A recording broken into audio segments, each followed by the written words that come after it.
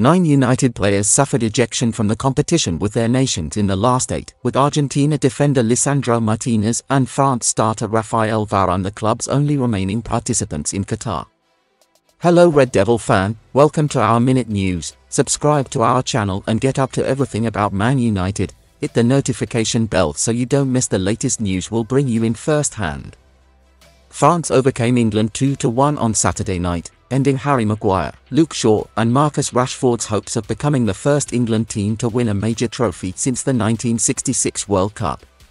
Portugal pair Diogo Dalot and Bruno Fernandes started in their shock defeat to Morocco, with Dalot forced off late on with an apparent hamstring injury. Enjoy and leave your like the video and continue inside everything that happens on Red Devils. Brazil lost to Croatia in a penalty shootout on Friday with Casemiro, Fred and Antony all on the pitch. Tyrell Malacia was the only United player not to play a minute at the World Cup and the Netherlands lost to Argentina on spot kicks in an ill-tempered quarter-final.